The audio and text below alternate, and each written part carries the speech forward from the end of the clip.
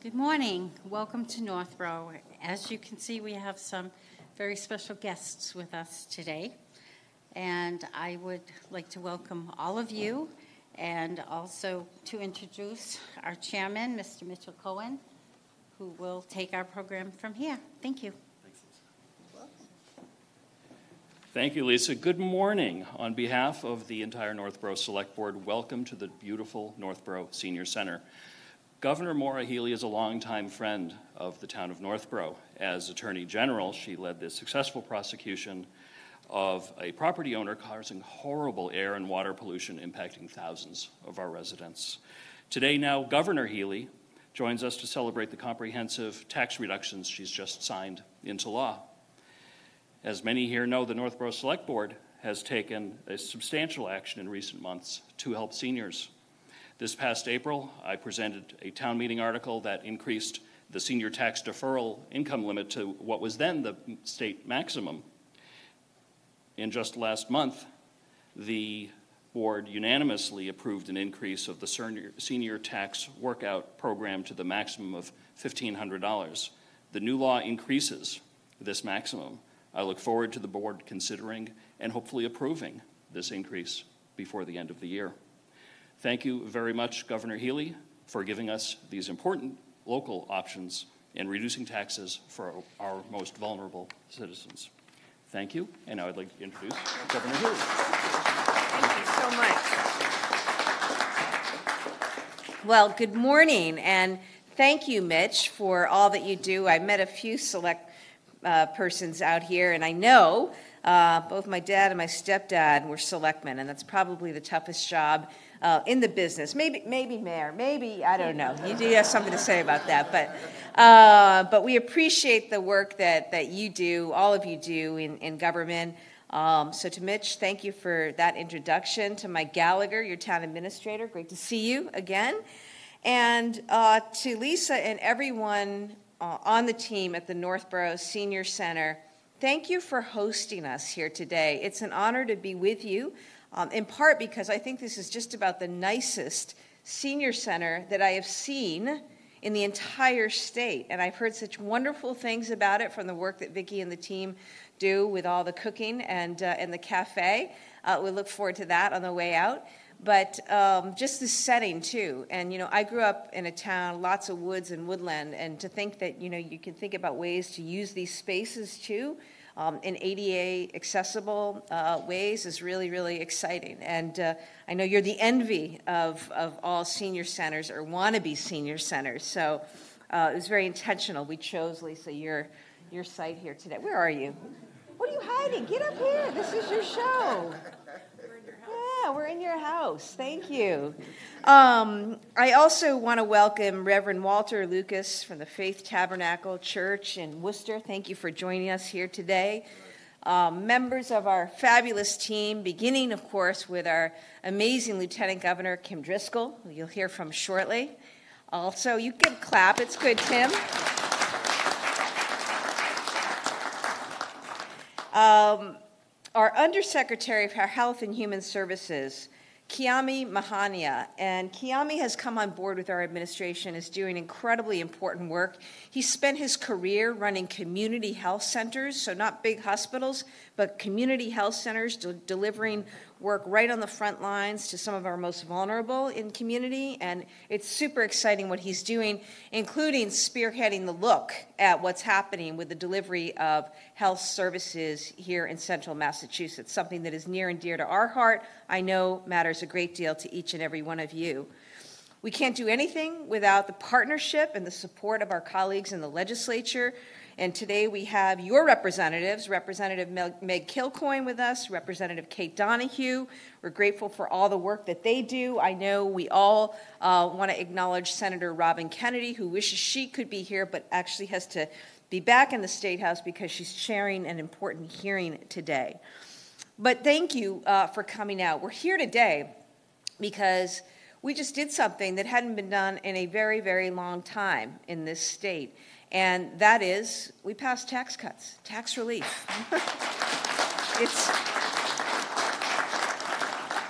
It's been well over 20 years that we've seen tax relief in this state. And here's why it's important. It's important to me in the LG because we know that it is incredibly stressful to be confronted with high costs, whether it's groceries or gas bills or electric bills or you know how you're going to buy presents for your grandkids. I mean, all of this mounts up, and we're going through a time of higher higher pricing right now and inflation, and so people across the state are really feeling the pinch. And we saw this as a great opportunity in our state to provide relief to people who need it most. And so here's what we here's what we did, uh, and this is uh, this is very exciting and also historic.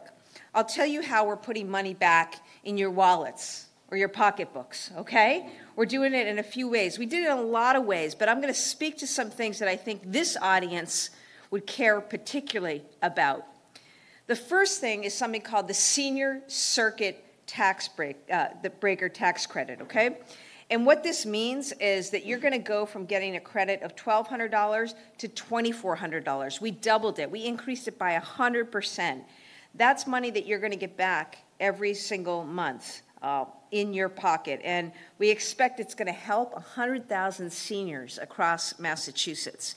And this is if you pay a mortgage and also if you rent, because if you rent, we, we've got a renter's deduction for you that's going to increase a deduction from 3,000 to $4,000. Again, money back in your pocket. For homeowners, we've also increased what you can earn in the Senior Property Tax Volunteer Program. Well, what is this? We've got a lot of great people of goodwill doing volunteer work in their cities and towns. We appreciate that, and we think they should be rewarded for that in terms of tax relief. So we're increasing um, to $2,000 off of your property tax bill by participating in that program. $2,000. Then there's something called the estate tax, which is on a lot of people's minds. That's the tax that your family pays on what you may pass on to them. And until now, our estate tax was at a lower level. People were taxed sooner for a lesser amount than a whole bunch of other states. And we wanted to change that. And so now um, we've changed that by raising the cap and lowering the estate tax. So before, if you, if you owned a home or a business, it was a lot harder to pass that on to your loved ones, uh, including your hard earned savings. Um, and now we've changed that because we think it's really important that people have that ability to, to pass on money to their to their families. It's also going to make for better planning decisions for people. And you know, I really want um, I want all of our seniors to be able to retire and live in Massachusetts. That's very very important to me and the team. And we don't want people going to other places simply because. Uh, planning and a calculus they're doing around something like the estate tax. So we changed that uh, to make our state more affordable and also more desirable. Because as I say, we really, you raised families here, you ra- built businesses here, you built community here, and we want you to see out, you know, um, your retirement right here in Massachusetts. Now let's talk about children and grandchildren um, as we get ready for Halloween and uh, all that is to come. I don't know if anybody I was at Spirit this weekend myself. Um, that was quite overwhelming. Um, uh, I still don't know what I'm going to be. Um, but I'll tell you what we did for, for, for children and grandchildren. We increased something called the Child and Dependent Tax Credit. And this is a big deal. We raised it from $180 to $310 this year, and it's going to go to $440 next year. And that is per child, per dependent. It'll get up to $440 for every child, every dependent in your household. And we also remove what used to be, you used to be capped at two kids. You couldn't get a credit for more than two kids or two dependents. And we know that that doesn't work for a lot of families. So we got rid of that cap. Now you get a credit for everyone in the household. Um, and that's going to mean hundreds of dollars going back to families with children and to people who take care of seniors or disabled family members. It also means that Massachusetts is now the most generous child and dependent tax credit state in the entire country. I am really proud that we were able to do that. Finally, we also cut taxes on things like lead paint abatement, uh, septic tank replacement. I'm sure some of you, unfortunately, have had to confront that. Um, it's pretty pricey these days, and so there's a significant tax credit towards that. Um, also, uh, know that we are putting a lot of, of investment, a ton of investment into housing. We'll have more on that soon. But building housing, building affordable housing, it's a top, top priority for our administration. So we know there's more work to do, um, and we're going to keep attacking these high costs from multiple angles. And, uh, and again, you know, so many of you, you've worked so hard for so long, and we just want to make sure that you're taken care of. And I'm proud that the, of, the, of the package that our administration and the legislature, legislature was able to deliver. Um, I'd now like to bring up our fabulous Lieutenant Governor, who uh, I know has a special place in, in her heart for seniors, and that is Kim Driscoll. Thank, thanks, Governor. I have some costume ideas for you. Former mayor of Salem, we saw all kinds of costumes, so it's really good. And uh, so grateful to be with all of you and just echo the governor's comments regarding what a beautiful senior center you have. I was saying on the way in, we worked close to a decade to try and build a new senior center. We call it a community life center in Salem. It was never the right place or the right time, and it, I was glad to get it done. But this is this is just stunning. The light, the opportunity to bring people together. It's uh, exactly uh, what a community needs to do to show their commitment to you know, what I always consider the generation that helped pay for all the schools and all the other things we need in town. So glad to be with all of you and really, um, you know, share why we think these tax cuts are so important to Massachusetts and what we think it benefits in terms of the people behind them. The governor and I have the great privilege to travel around the Commonwealth. You know, 351 cities and towns, all corners, all places, all unique and special in many ways. And the number one thing we hear about, frankly, no matter where we are, is just the high cost of living. A lot of that's tied to housing for sure, but we've seen over the course of the last, you know, year to year and a half, just rising prices, really making it difficult to make ends meet. And one of the reasons we wanted to make sure we talked about these tax cuts is to make sure folks knew about them and they took advantage of them. Only 80% of the people who qualify for the earned income tax credit is one example. 20% of folks who don't qualify or who qualify never file, never take advantage of it. Things like that happen, and we want to try and avoid that. These resources are so vital, not just to the individuals who will benefit from them, whether they're working families or older adults, um, but we also know it's going to help contribute to dollars going back in local, the local economy. We saw during the, the, pandemic when additional dollars were available as part of this childhood dependent tax credit that, that families spent it at the grocery store. Um, I just came back from visiting my dad, who turned 90 this year. He's a Navy veteran, doing pretty well, slowed down a little bit but we both share a love of Thomas's English muffins, and he was a chef. He, he was a chef in the Navy, right? We like Thomas's English muffins with apricot jam. He got me hooked on that, right? And he, he used to regularly call me up to let me know where all the sales were happening for Thomas's English muffins. There's always sales for Thomas's English muffins. Thank you. That's a lot of phone calls, right? Um, but the reason I shared that is because we also would talk about just we buy the same things every week, yet the cost, the bill at the end at the cashier is a lot more expensive. And I think people are experiencing that. These tax dollars are designed to help make sure there's a little bit extra of money available to help pay for the things you need as we've seen rising costs. And that contributes to something positive for working families, but for age friendly communities. I was really proud as mayor of Salem to support one of the Commonwealth's first age friendly plans for our municipality. We want to make sure Massachusetts is an age friendly state. What better way to do that than reducing costs for older adults, helping ensure you've got the resources you need when you need them to make the sort of investments that you can? And I'm not talking about a Roth IRA. These dollars are going back into uh, areas where we're going to make ends meet, making Massachusetts more affordable. We know that there are higher costs uh, today than there were a year ago and a year before that, and being able to put money back in people's pockets that will go back into the local economy, we think goes a long way to making Massachusetts more affordable, uh, more competitive, and frankly, more equitable. And that's our goal in, in this role. And so grateful, again, to be with all of you.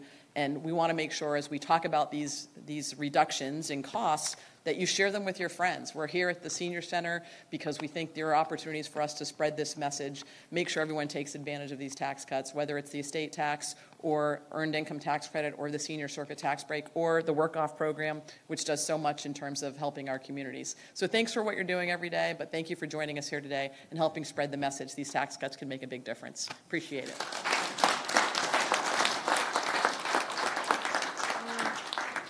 Thanks, LG. All right, Reverend Lucas, followed by Diane Sandman. Thank you. Good morning, everyone.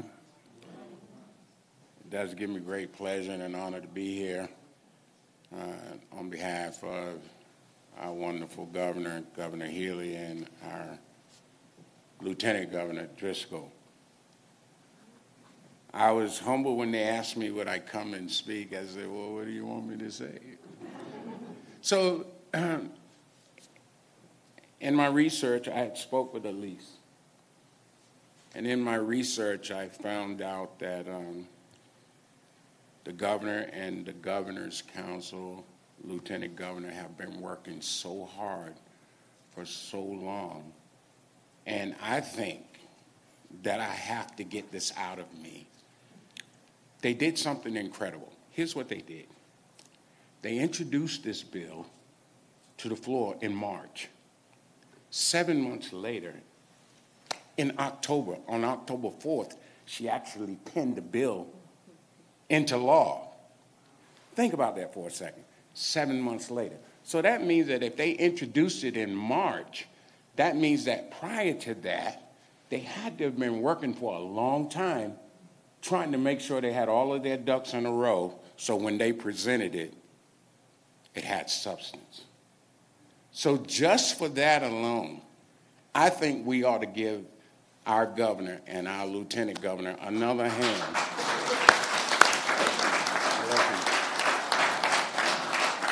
So again, my name is Pastor Walter Lucas. I'm pastor of the Faith Tabernacle Church in Worcester. Um, and I actually work also with the CMAA, the Central Mass Agency on Aging. And uh, I'm actually the uh, outreach uh, coordinator for the faith-based initiative for the grandparents raising grandkids.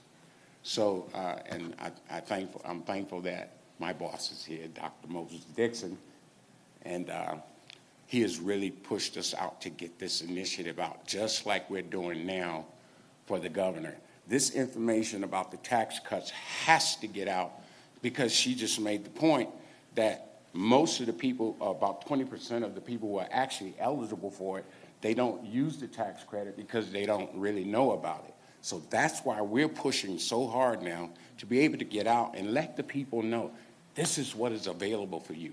Just like the grandparents raising grandkids. This is what is available for you. And we're seeing a big difference in everyone's lives. So I just wanted y'all to also, we also are doing uh, the uh, vaccines. We're getting that initiative out all over the all over the Commonwealth, trying to get what we can done with the people who really, really need it. So today, again, I am truly honored to be here with the governor and the lieutenant governor and all of you, and let's keep working hard to make this great.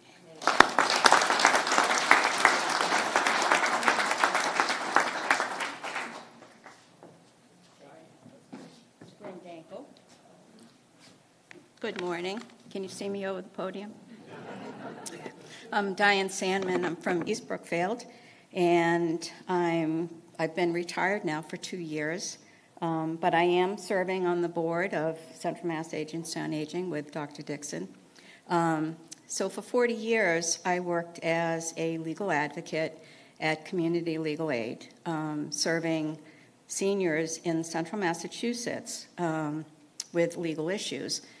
Now, most of my clients were really living on the financial edge, not really having substantial in- income to meet their daily needs, um, which often ended up with legal problems, either eviction or um, loss of benefits.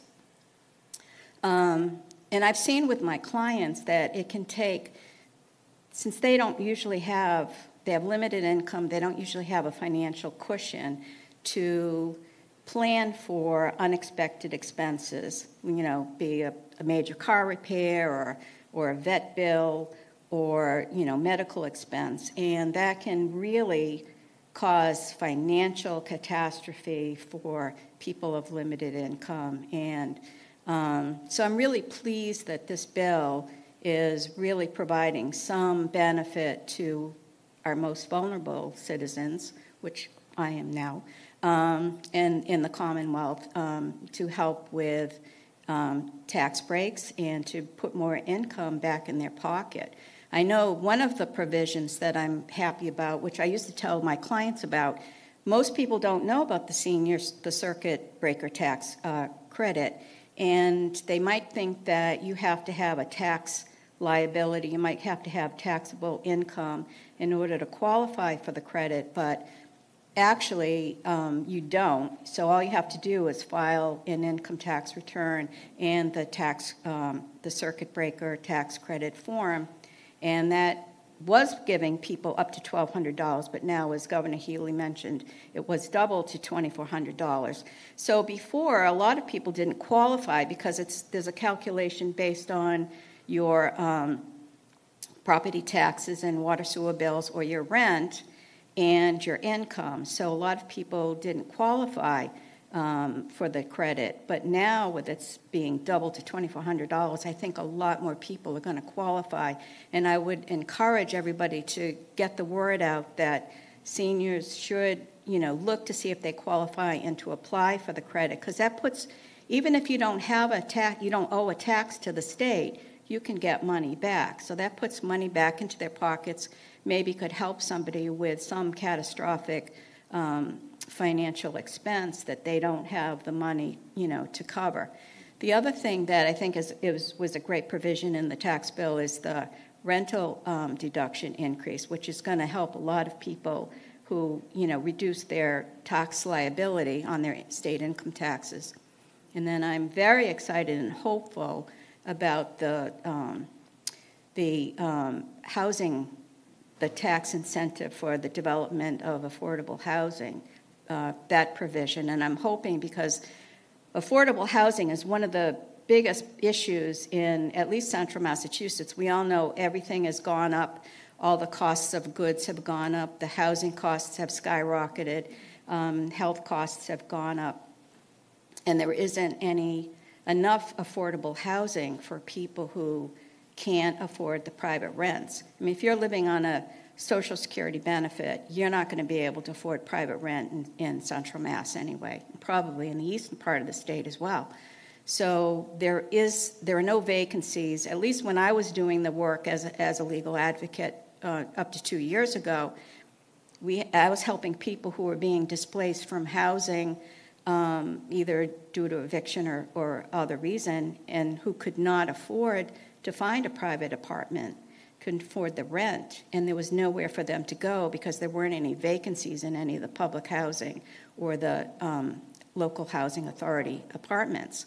Um, so it caused a lot of people to become homeless, or they might have to move in with family, or sometimes people would have to go into long term care um, because they would either that or be on the street before they would need to go into long term care. So you know, the need for housing is very critical in Massachusetts. So I'm very hopeful that this increased tax incentive will really help to develop more affordable housing for, the, for our vulnerable seniors.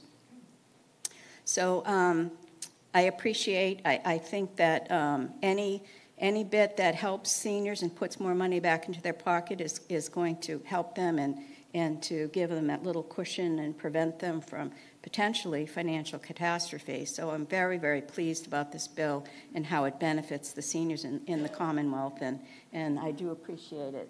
Governor Healey and Lieutenant Governor Driscoll, and, and um, hopefully um, there might be more to come in the future. Thank you.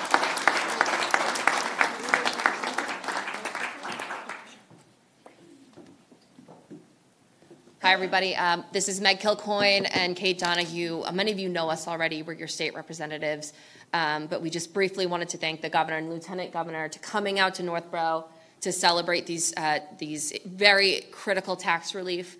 Uh, This is a a legislation that was uh, over three years in the making.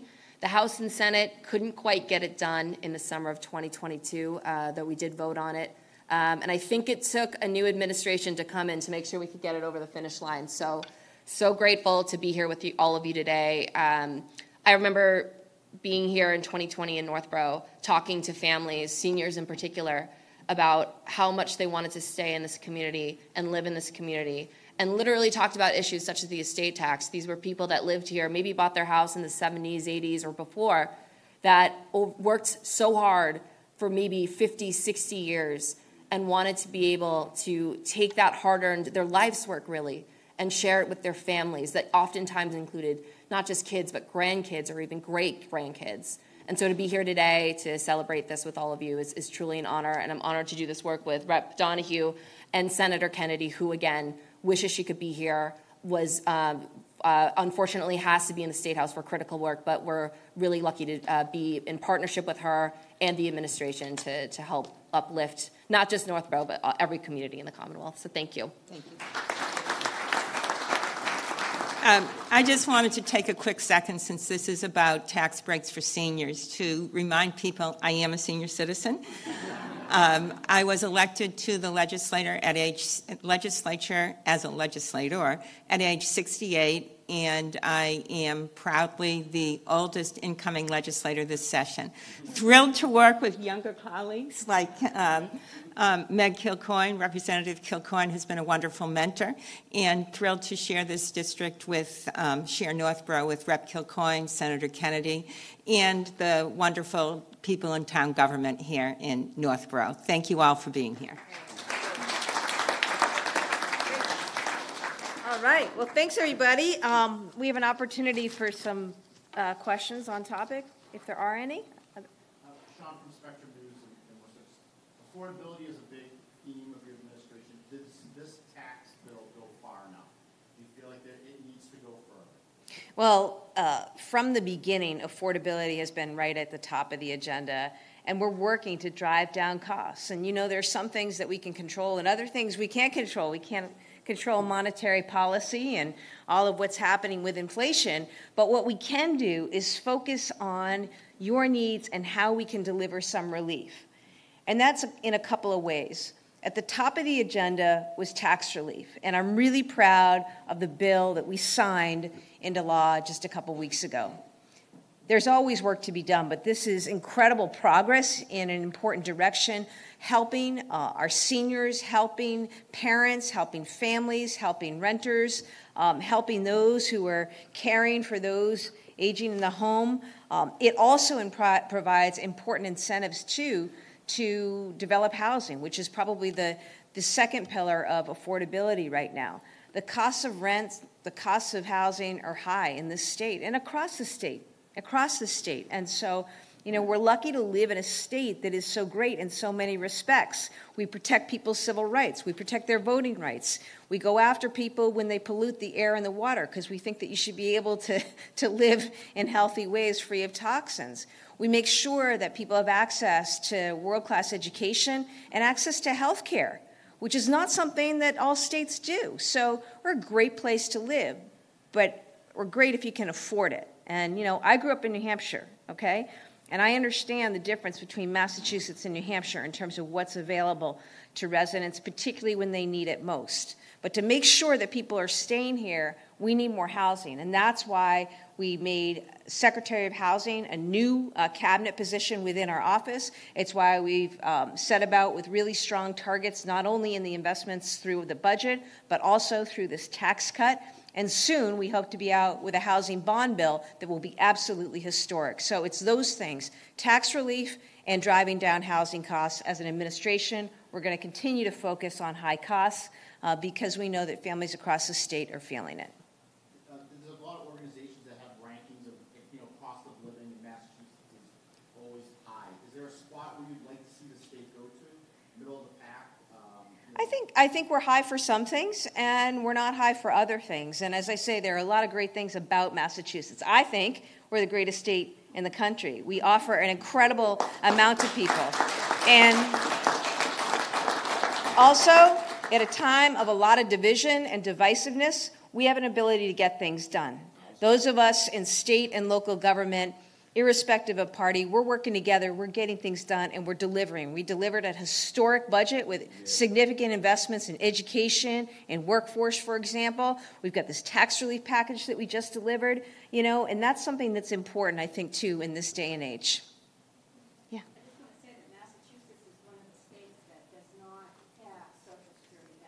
That's a good point, Diane.